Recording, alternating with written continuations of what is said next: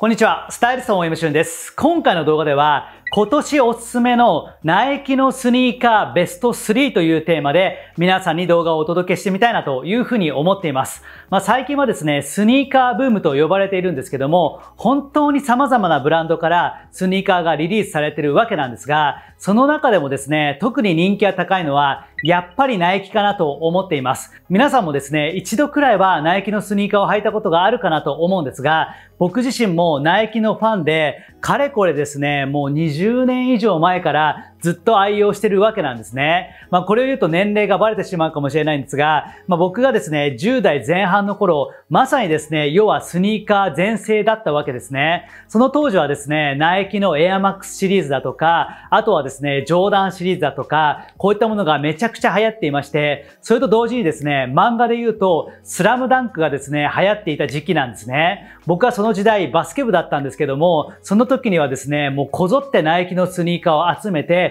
試合でもですね、ナイキのスニーカーを履いていました。まあ、当時僕が履いていたのは、ナイキのですね、エアジョーダン7ですね。これを履いていたわけなんですけども、決して履き心地としては良かった記憶はないんですが、そういったものを履いてプレーをするだけで、テンションがめちゃくちゃ上がったのをですね、今でも鮮明に覚えています。まあ、そんなナイキ好きの僕なんですけども、最近大人になってからもですね、ナイキのスニーカーを愛用してるわけなんですが、そんな中で僕が好きなナイキのスニーカーというのは、単体で見るとそんなに派手さはないんですけども、コーディネートと馴染みが良くて、大人っぽい着こなしの中にマッチするもの、こういったものをですね、ちょこちょこ買い揃えてるわけなんですね。まあそういった基準で見たときに、今回ご紹介する3つのナイキのスニーカーは、かなり大人の男性にはおすすめかなと思いますので、ぜひ最後までお楽しみいただければなというふうに思っています。こちらのチャンネルでは大人の男性に向けてメンズファッションの基本をなるべくわかりやすく解説をしています。もう少しですね、中級者向けのアイテムですとか、コーディネートに関しましては、僕がもう一つ運営してます、YouTube のメンバーシップチャンネルの方で解説をしています。まあ、こちらのチャンネルとはまた違ったテンションで、かなり本音の内容をですね、皆さんにお届けしてますので、気になる方はこちらの動画の下の概要欄にリンクを貼っておきますので、そちらからチェックをしていただければなというふうに思っています。それでは早速行ってみましょうはい、ということで早速一つ目のスニーカーから解説をしたいなと思ってるんですが、実際に持ってきてみました。こちらのスニーカーになりますね。もう少し近くで見ていただきたいんですが、こちらになります。これはですね、ナイキのブレーザーローというスニーカーなんですけども、まあ見ていただくとわかるかなと思うんですが、結構レトロな雰囲気のスニーカーになってるかなというふうに思っています。まあナイキというとですね、結構デザイン的には先進的なものが多いので、その中ではですね、結構珍しい感じがするかなと思っています。まあ僕自身もですね、これを最初に見たのは、今から1年ちょっと前ぐらいかな、2年前ぐらいかな、それぐらいだと思うんですけども、なんかクラシックなスニーカーだなという印象が強かったんですね。まあ様々なセレクトショップで最近は取り扱いがあるんですが、かえってですね、こういったレトロ感というのが着こなしの中で良いアクセントになるなと思って、大体ですね、今から3、4ヶ月ぐらい前に購入をしました。まあ実際今回ご紹介する中で、僕が一番よく履いてるのはこちらのブレーザーローですね。まあなんといってもデザインがシンプルなので、すごくコーディネートに使いやすいんですね。例えば今はですね、僕はこういったスラックス系のアイテムを履いてるんですが、そういった綺麗めなボトムスにも合いますし、デニムとかで合わせて少し足元綺麗な感じを出してあげるのもいいかなと思うんですが、結構ですね、様々な着こなしに使いやすいので、僕はですね、白レザースニーカーの延長線上のアイテムとして、こちらを使うようにしています。このブレイザーローというのは1970年代にリリースされたスニーカーということで、やっぱりですね、こうクラシックな雰囲気が伝わるかなと思っています。もともとはですね、バスケットボールシューズとしてリリースされたというところがあるので、まあスポーティーな感じもするんですが、こちらはローカットになっているので、あんまりですね、バスケットボールシューズという感じはしないかなと思うんですが、ミドルカットのものなんかはですね、もうちょっとバッシュっぽい感じが伝わりやすいかなというふうに思っています。まあこちらはですね、とにかくデザイン的にも使いやすいのと、あとは価格ですね。まあ、値段がこなれているというところもすごく大きなポイントかなと思ってまして、だいたい1万円前後で買うことができるんですね。こういった白系のスニーカーって、なんだかんだでやっぱり汚れやすかったりするので、消耗品だなと思うわけですね。そんな時にあまりに高いものだと気軽に履けないんですが、こういった1万円前後のスニーカーであれば、割とラフに使いやすいかなと思っているので、僕はこのブレーザーローをですね、ガンガンに履いていますね。このスニーカーに関しては、新しい状態よりも少しですね、履き潰してあげて、ちょっとレトロな感じがより強まってくると、かっこよくなってくるかなというふうに思っています。僕もですね、これ履いて3ヶ月ですが、ちょっとシワなんかも入ってきて、すごくいい雰囲気になってきたなと思ってですね、非常に気に入ってるスニーカーの一つになります。まあ、これはですね、お近くのセレクトショップなんかでも取り扱いがあるかなと思うので、ぜひ見ていただきたいんですが、こういったナイキのですね、端の部分に入ったクラシックなロゴだとか、後ろに入ったったフォントもまたね、かつてのナイキっぽさが出てるので、まあ、結構大人の男性にはグッとくるようなスニーカーかなというふうに思っています。まあ、僕の中で今一番よく履いてるスニーカーとして、こちらナイキのブレーザーロー、まず1足目として紹介させていただきました。はい、続いて2点目のナイキのスニーカーなんですけども、これはですね、最近購入をしまして、まだ外では履いてないので、そこも綺麗な状態なんですが、近くでお見せしますね。こういったスニーカーになります。ちょっとデザインが変わってますよね。ナイキのエアリフトというシリーズのスニーカーになっています。これはね、デザインかなりぶっ飛んでますよね。ちょっとこれを見てイメージできるものといったら、まあ、あの、旅だと思うんですね。つま先の部分が分かれているので、ちょっとデザイン的にもぶっ飛んだ感じがするかなと思うんですが、この先進的なデザインが発売されたのは、なんと1996年なんですね。僕がまさに中学生ぐらいの頃かな、スニーカーにどっぷりとハマっている時に発売されたのが、このリフトというシリーズのスニーカーになっています。まあ、当時からですね、このデザインってかなりぶっ飛んでいて、まあ、僕は知ってはいたんですが、なかなか合わせられないなと思っていたんですね。まあ、正直こういったものを履いている方っていうのは、ファッション上級者の方で、なかなかですね、当時の僕としては履きこなすのが難しいかなという印象だったんですが、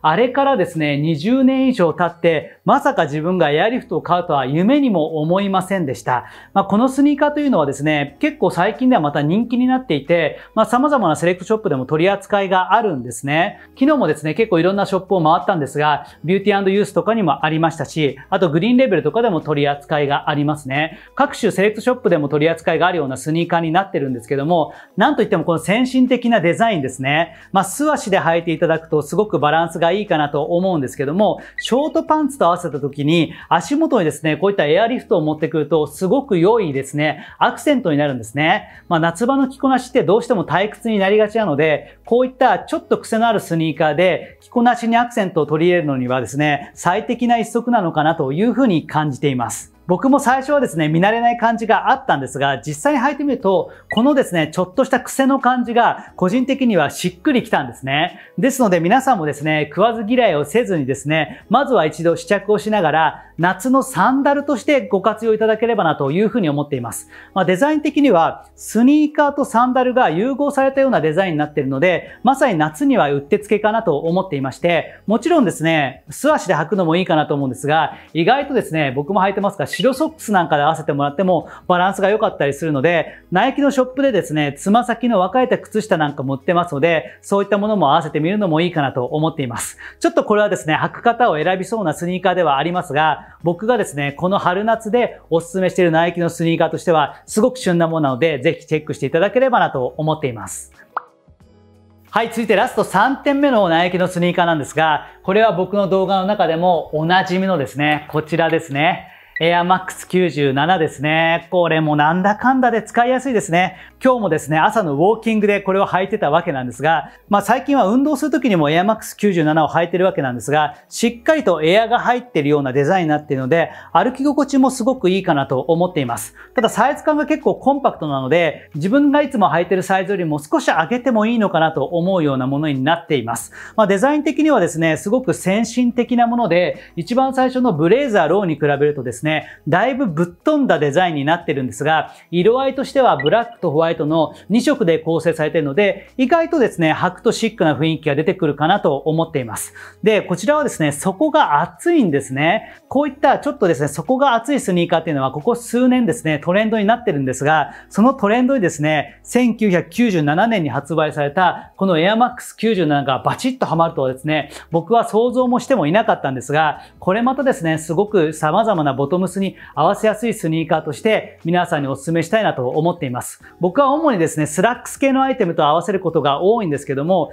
クラシックなスラックスみたいなものともですね、こういった先進的なスニーカー、意外と相性が良かったりするので、かなり万能かなと思っています。一方で、カジュアルなブルージーンズとはあんまり合わせることがないんですね。ボトムスもカジュアルで、足元もカジュアルだと、ちょっと僕ら大人世代には難しかったりするので、例えばブラックのスラックス、スマートアンクルパンツ、ユニクロモですとか、あとはブラックの細身のジーンズですね。そういったものと合わせて足元にボリュームを出すというのもいいかなと思うので、これもですね、2021年現在においても未だに使い勝手のいいスニーカーの一つかなというふうに思ってます。僕もですね、この1年間で履きすぎてしまってちょっと飽きてはいるんですが、まあ、最近ですね、ナイキのスニーカーもいくつか買ったので、そういったものとローテーションを組みながらですね、これからもこちらを愛用していきたいなというふうに思っています。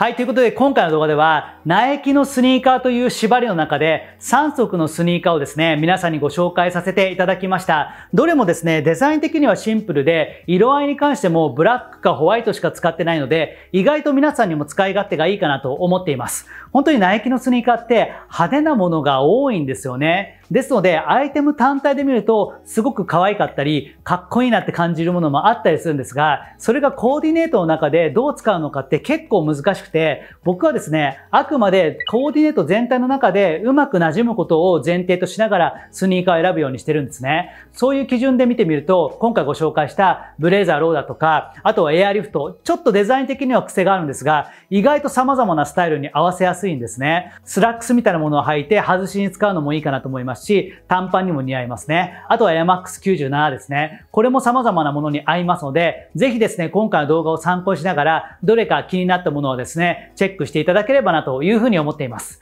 これからもこちらのチャンネルでは大人のダンスに向けてメンズファッションの基本をなるべくわかりやすく解説したいなと思ってますので、よかったらチャンネル登録の方もよろしくお願いします。それではまた次回の動画もお楽しみに。おしゃれ初心者から中級者へステップアップしませんか？限定動画では中級者向けのアイテムコーディネートからライフスタイルまで発信。皆さんからのご質問のほか無料動画では語れないスタイリストの本音もお伝えします。大山旬のメンバーシップチャンネル。